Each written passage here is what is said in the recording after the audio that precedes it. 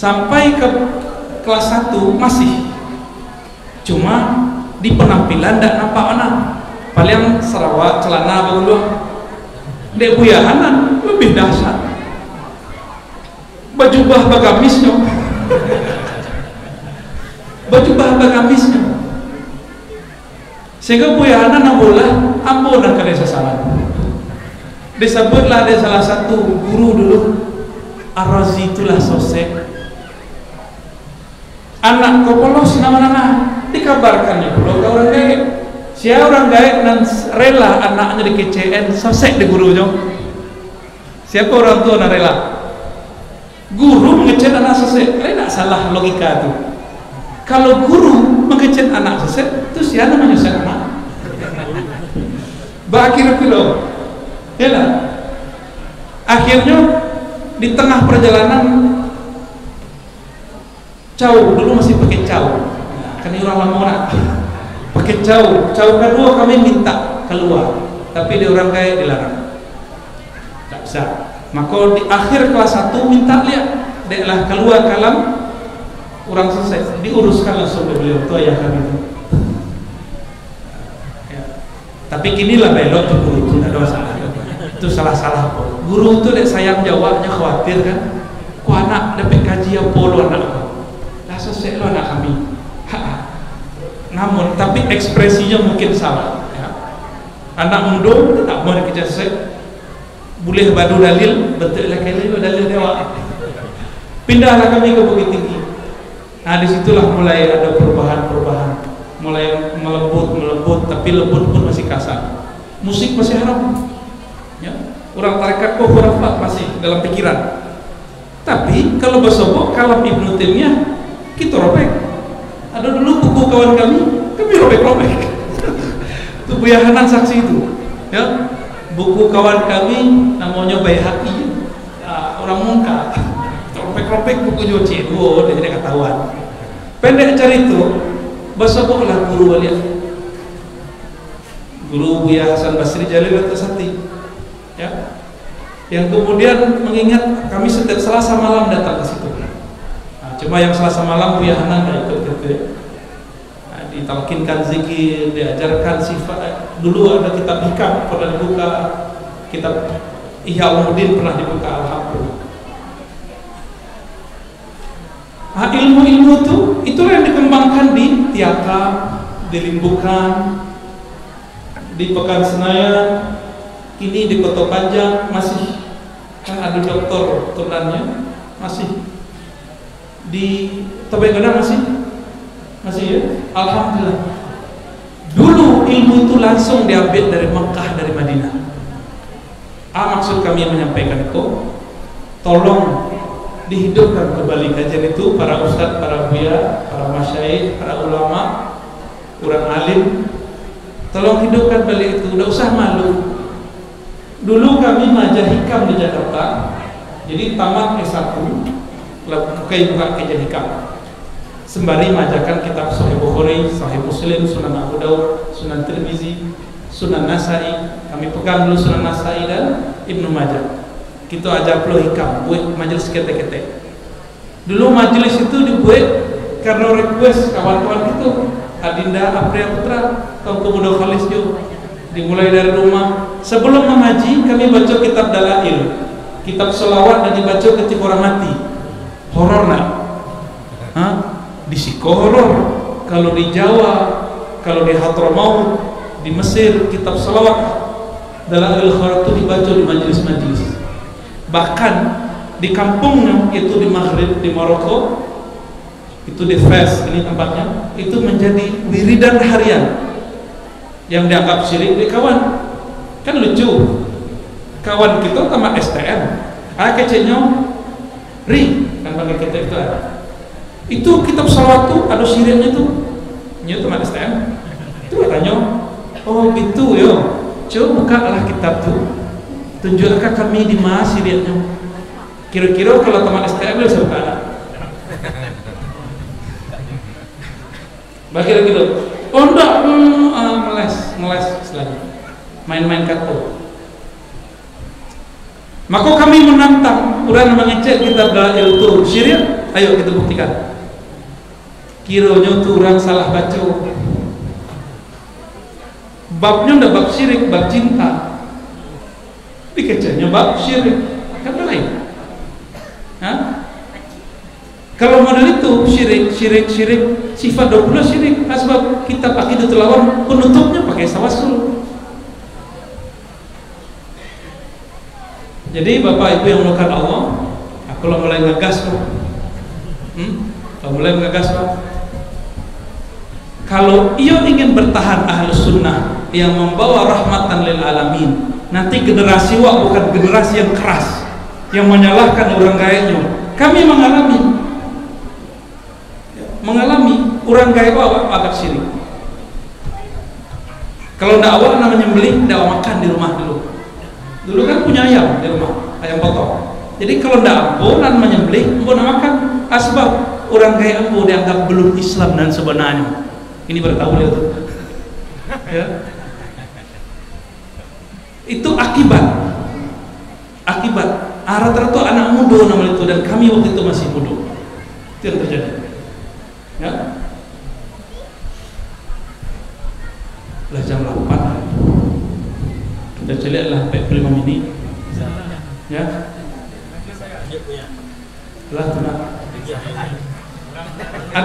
hati dah kali tanya? Kata kita sadar Hah? Tidak, kami sudah sembahyang langsung ke suruh sama suruh ya. Ah, kalau kado bertanya kini saja bertanya ya dapat pak ya silakan Assalamualaikum warahmatullahi wabarakatuh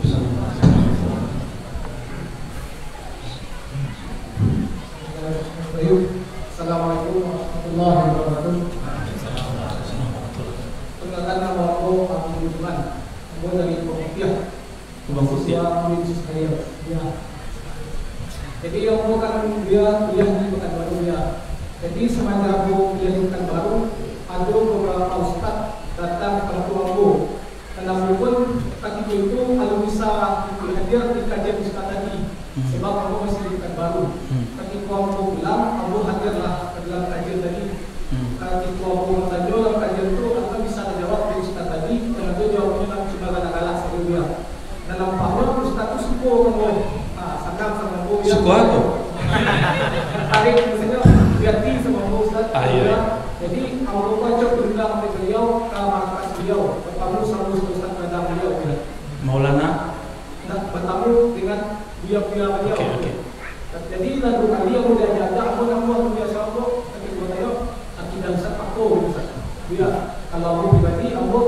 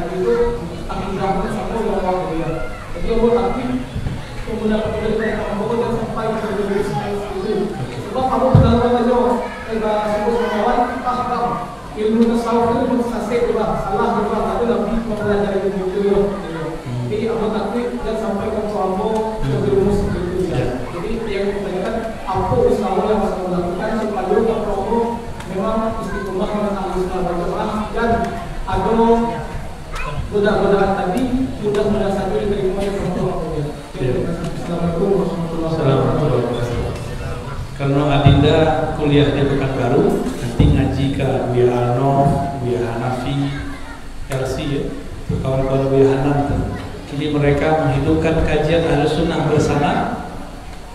Ada majelis Sunan Mustafa, ada majelis Ratib, ya, itu salah satu murid beliau di nah, orang Kampar. Sunan Mustafa dalam Sahih Bukhari dan dalam kitab-kitab yang lain, alhamdulillah ngaji ke situ. Jalan waktu. Adapun tadi, apakah itu Hizbut Tahrir ya? Hizbut Tahrir biasanya tidak ada pakai serban-serban? Nah, ya mungkin kebetulan itu berserban. Ya, separuh itu gaya-gayanya. Hizbut Tahrir didirikan oleh Taqiyuddin An-Nabahani. Beliau pernah kuliah di Al-Azhar dan berinteraksi dengan Ikhwanul Muslimin IM di negara Jawa Ikhwan Muslimin itu mempengaruhi gerakan satu gerakan partai politik atau ada beberapa pergerakan mahasiswa. Tapi ada yang ambil spiritualnya ada yang ambil politiknya. Spiritualnya pakai maksuran Hasan Al-Banna politiknya partai tertentu. Tapi waktu Jawana Ikhwan Musliminnya orang KMM di Mesir itu berbeda dengan Ikhwan Muslimin di Mesir itu sendiri. Sebab tidak bersanat Ikhwan Muslimin Indonesia sanatnya tidak jelek susah ditelusuri. Cuma terpengaruh-terpengaruh buat liko-liko kini ah, mau sebut saja mohon maaf. Di ambo tidak tamatan situ jadi aku buat. Kau mohon maaf kau orang tamatan azhar ya al-afu minkum. Orang katanya kawan Ustaz Al-Azhar itu kan ahli sunnah. Batuk banyak kawan. Tidak buyar pun ya. Kebanyakan kawan-kawan buyar gitu kok pulang dari Mesir akidahnya balawan jauh orang awak. Yang akidah orang awak itu sama jauh akidah Al-Azhar. Akidah Al-Azhar belajar sifat dulu kitabnya Al-Iqtisad karya Imam Ghazali disyarah oleh ulama Al-Azhar itu sendiri. Masih belajar gini masih. Di masjidnya itu ada Syekh Hasan Syafi'i masih hidup muridnya malam kini mau datang. Besok pagi di Masjid Taqwa. Silakan ramaikan. Habib Geis itu murid dari Syekh Hasan Syafi'i ulama di ruang Al-Azhar. Al-Azhar itu untuk masjid menikulah kira-kira. Ada pojok tapi orang mengaji namanya ruang. Itu biasa. Ya. Hanya mengaji di situ dulu.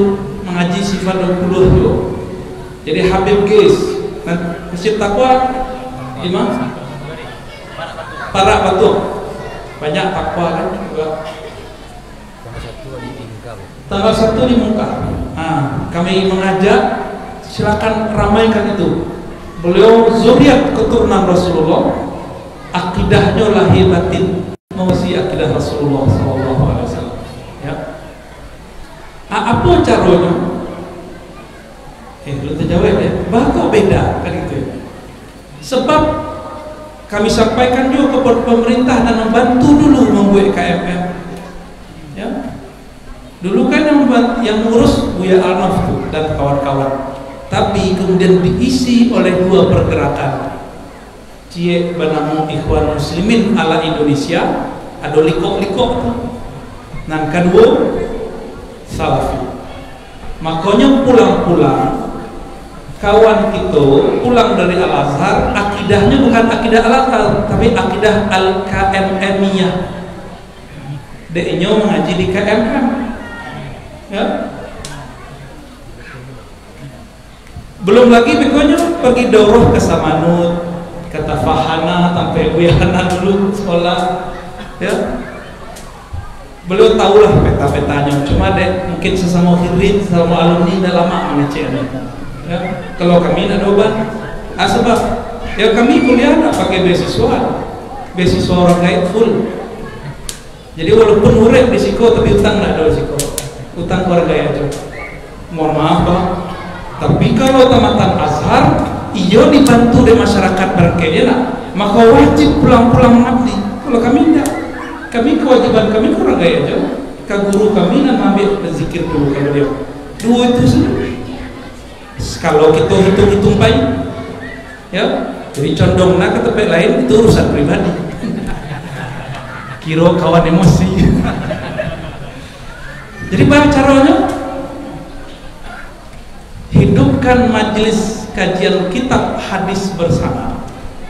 Kajian akidah bersama. Kalau akidah harus mengerti ilmu kalam kalah tuh. Kan orang Hizbut Tahrir modelnya dialektika berpikir tanpa daulah maka hukum Islam tidak berdiri. Ya. Kan gitu tujuan Tahrir kan bagus. Tapi kemudian di tengah perjalanan ada distorsi pemikiran. Maka kemudian di kampungnya sendiri di Yordania Al-Urdun itu dianggap itu aliran terlarang. Maka anggotanya sesat. Di Saudi sesat di Mesir dianggap sesat dipelihara di Inggris. Maka pusat Hizbut Tahrir ini bukan di Yordan. Bukan di Mesir. Bukan di Mekah Madinah. Di mana pusat Hizbut Tahrir ini? Maka kami menghimbau dengan hati paling dalam kawan-kawan Hizbut Tahrir kita merindukan khilafah tapi bukan khilafah buatan makhluk. Khilafah itu ala minhajin nubuwah. Minhajin nubuwah dalam hadis Imam Ahmad artinya khilafah yang langsung dipilih oleh Allah. Nubuwah itu ilmu al ilmu billah. Seorang nabi dipilih yajtabi ilaihi mayyasha yajtabi Allah pilih Allah ambil siapa yang dia inginkan. Begitu dalam surah Asy-Syura maka bab khilafah akhir zaman bukan dengan pergerakan buatan makhluk tapi itu skenario ilahiyah sebab khalifah nanti itu pasti Imam Mahdi. Ya kan? Khalifah akhir zaman itu Imam Mahdi. Dan Imam Mahdi itu kata Nabi ismuhu yuwati usmi. Yuwati usmuhu ismi. Nama nama kita sudah jelaskan di Pekanbaru nama itu artinya ketinggian derajat. Al-alam al-wasam wal-alam. Wal-ulum jadi arti nama bukanlah nama Muhammad bin Abdullah Imam Mahdi itu. Tapi namanya itu adalah ketinggian dan tanda-tandanya sama dengan tanda-tandaku jadi Nabi itu dipilih atau acak? Apa kata Nabi? Allah menilik kepada keturunan Nabi Ibrahim dipilih Ismail dari Ismail Adnan Adnan kemudian Bani Quraisy Quraisy Bani Hashim. Bani Hashim anak Abdullah. Dipilih. Nabi Muhammad itu dipilih. Maka Imam Mahdi itu dipilih. Semua tarekat nanti akan gabung, semua mazhab nanti gabung dengan beliau, semua akidah. Dan akidah beliau ahli sunnah. Dan beliau min itrati Rasulillah. Apa kata beliau? Al Mahdi minni min itrati min waladi Fatimah. Kalau digabung riwayat begitu, hadis Abu Dawud ada di hadis-hadis yang lain. Al Mahdi minni min waladi Fatimah min itrati Mahdi imam akhir zaman yang akan memimpin khilafah akhir zaman itu itu imam yang keturunan Rasulullah SAW kini Hizbut Tahrir ada respect nggak sama Ruziah Rasulullah maka itu ciri-ciri Tahrir sudah menyimpang. Jadi Amo tidak mengkritisi versi uh, Kiai Idrus Kiai Idrus ahli kalam. Belum mengkritisi versi kalamnya. Nah itu kita serahkan ke beliau. Amo mengkritisi versi hadis. Ya. Ciri-ciri kelompok khawarij nanti khawarij itu benci tidak percaya ada keturunan Rasulullah. Hati-hati. Hati-hati ciri-ciri kelompok teroris nanti atau kelompok yang menyimpang membenci zuriat Rasulullah. Tapi hati-hatilah cinta ke zuriat Nabi. Setan masuk belum? Ada namanya kelompok kelompok Rafidah kelompok yang mendewa-dewakan Sayyidina Ali. Hati-hati. Jadilah masuklah cinta nawa ke surat Nabi kiranya kemasukan kawan namanya Syiah. Dan itu pernah berkembang negara awak. Maka adalah tradisi tabut. Tabui itu siswa budaya Syiah yang sudah dialusunahkan oleh Syekh Burhanuddin hilanglah ya Husain. Berbunyi kini Oya Husain. Ya tak tak paham artinya? Itu tradisi Syiah. Jadi mohon maaf kurang adat Ambo tidak menganjurkan untuk menghidupkan tradisi itu. Walaupun Ambo tahu kita harus menghidupkan tradisi yang baik. Adat yang baik. Baik kami itu tidak usah. Tidak usah. Ya tapi nanti kalau datang orang Piaman jangan kecil orang Piaman selesai. Tidak kita cuma menganjurkan. Cuma menganjurkan. Apalagi mubazir ya kan? Kemudian dihidupkan ilmu kebatinan di situ ilmu debus. Ilmu debus kan dua. Ada debus sebagai zikir ada yang pakai sihir. Wah nak tahu kok debus yang mana. Yang sedang ya usen oh ya. Usen ekstase. Muncullah debus-debus. Ya kita tidak menyarankan ya. Kalau mau hidupkan manakib Sayyidina Al-Husain baru bagus manakib Sayyidina Al-Hasan Sayyidina Ali. Jadi baca rohnya undang Buya Abdul Putra buka kaji sifat 20 Buya Habib Buya Buya itu dunang ngaji sifat 20 ngaji Syafi'i ngaji fikih syariat. Insyaallah aku ya Apakah doktrin takfiri Khawarij dalam penyebarannya menggunakan pendidikan? Ya. Mereka buat sekolah pendidikan. Tapi tidak boleh harus cecek. Nah, nanti di pengajian biarlah biar-biar kita menyebutnya. Fenomena pondok pesantren yang berakidah sifat 20 dan surau-surau seakan tertukar hari ini, terkubur. Apa solusinya? Kalau yang dipertahankan tubuh pesantren, bangunan pasti hancur. Pesantren itu bukan bangunan, Pak. Pesantren itu duduk mengaji, mengaji talafi. Maka kami datang petang ke Candung, datang ke Pasir, datang madrasah terbiak. Kami memohon ya, tolong hidupkan kembali buya-buya majelis talafi. Dulu Syekh Sulaiman Rasul itu menjadi Syekh Sulaiman yang kita kenal kini, dia duduk mengaji di surau mungkin nanti ku bisa kita jadikan basis kajian kita. Lalu mau ada tanda nanti? Ya kalau perlu kita resmikan sesudah puasa ya nak? Ngaji kitab kita. Lalu ya anak nanti buya-buya duduk di muka ah, mereka nanti punya jam piket. Di pekan keberapa ada dua buya saling berbagi faham di situ. Nanti pekan berikut apa perlu atau nanti digilir pekan berapa di situ. Sehingga betul lah adat besar di syarat itu jadi lagu-lagu lama aja. Ya, orang tak semayang itu aja. Tidak adat besar di syarat di kita pulau semayang ya. dan kami khawatir pergerakan adat ini disusupi oleh kelompok takfiri. Dan sampai nanti gerakan dim daerah apa istimewa Minangkabau disusupi. Niat kita ya rancak tapi disusupi jangan sampai. Kan kita dah kayak katukan para datuk fahamlah apakah itu sebuah solusi atau itu malah mencari mati ya? Bisa kesusupan pak. Di Jakarta orang ke 212 karena itu gerakan sporadis disusupi. Pecah pecah pecah pecah pecah. Kita lah dan kini tidak solid. Padahal niat tadi awalnya bagus maka menanglah dulu gubernur kan? Kalahlah gubernur yang yang itu yang non muslim itu. Tapi begitu. Di mana pun ada kepentingan di situ ada perpecahan. Ingat di mana ada kepentingan di situ ada perpecahan. Jadi kalau kita mengaji buang kepentingan politik buang kepentingan mazhab tarekat. Kalau ngaji ngaji aja. Hampir cem-cem atau beko enak. Kalau mengaji zikir cem tuh tapi kalau ngaji kita buka mata supaya akal lebih lebih jalan. Hah? Aku masuk suruh pengajian orang macam mata saudara. ya, tidak bisa menempatkan sesuatu di tempatnya. Kenapa Arab Melayu tidak ada lagi di kurikulum pendidikan? Awak ada orang plat merah tuh. Tanyalah ke orang plat merah. Terkait bom kenapa pelaku tega membom Said Ramadan Al-Buti yang sejuk kajiannya? Wah berarti ngerti bahasa Arab tuh yang nanya.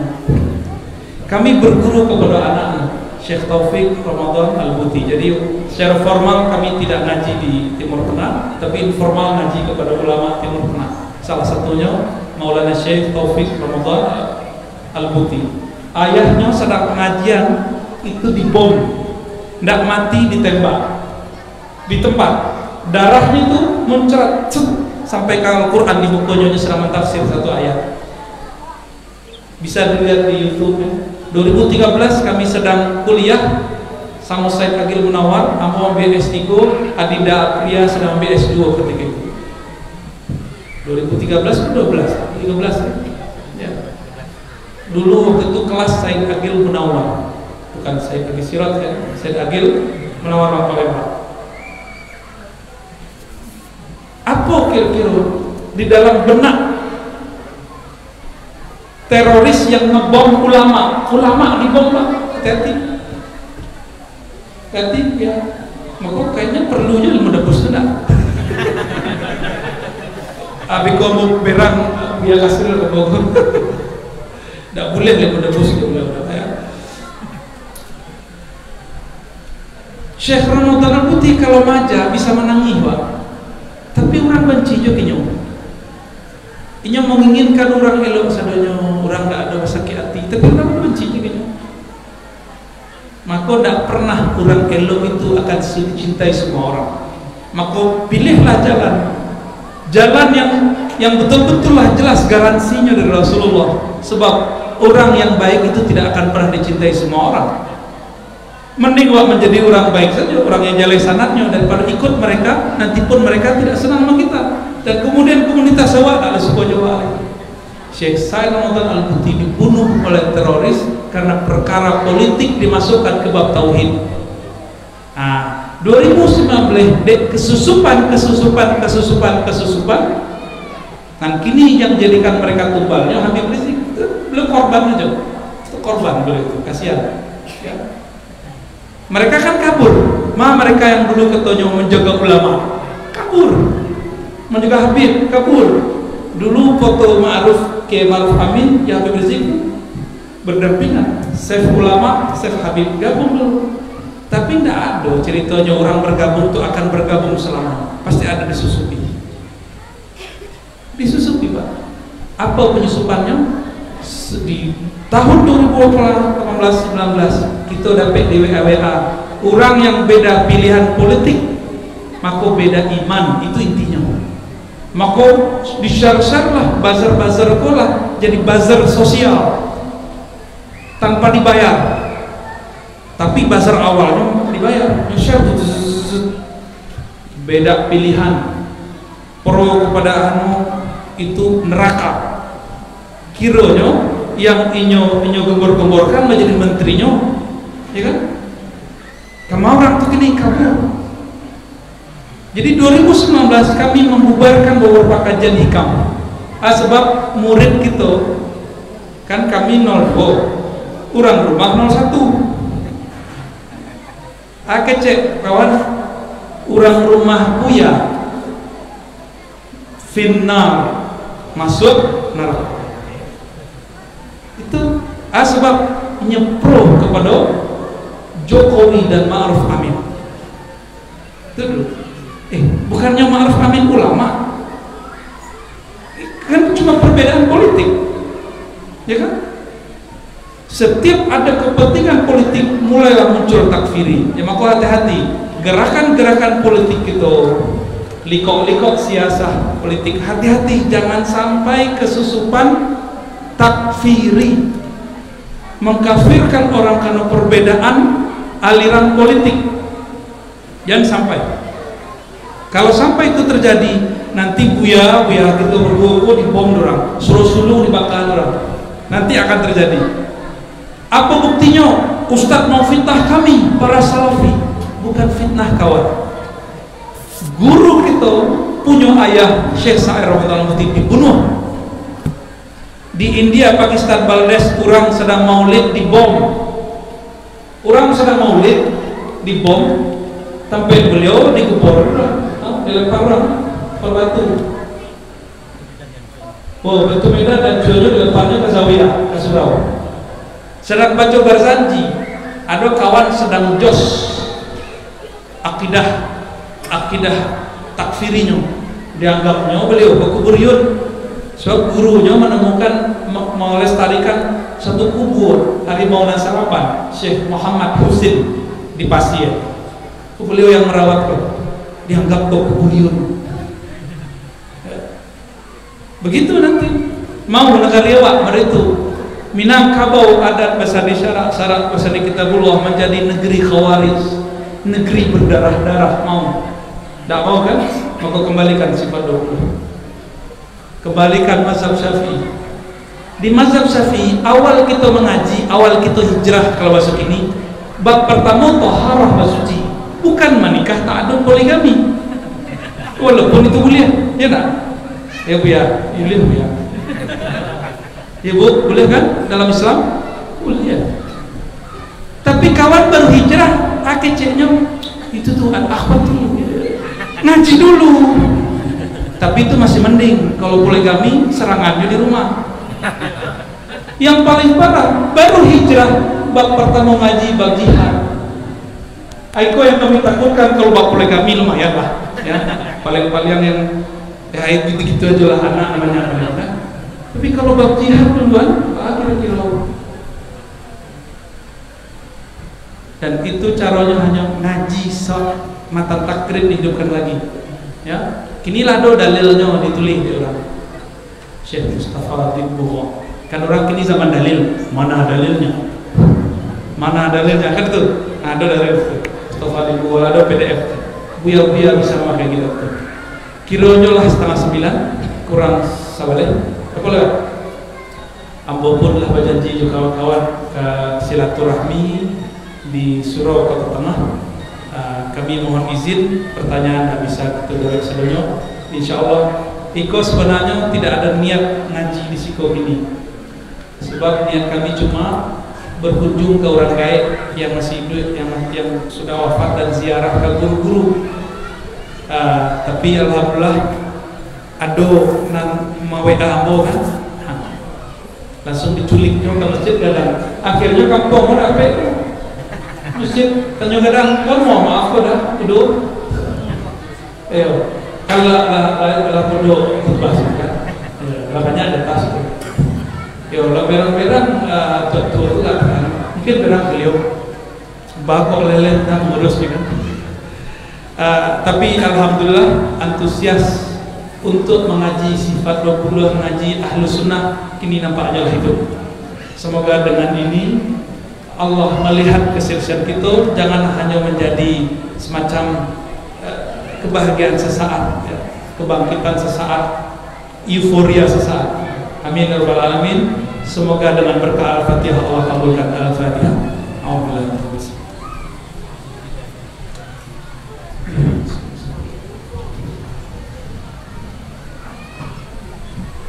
Demikian dari kami Subhanakallahumma bika asyhadu an la ilaha. Assalamualaikum warahmatullahi wabarakatuh.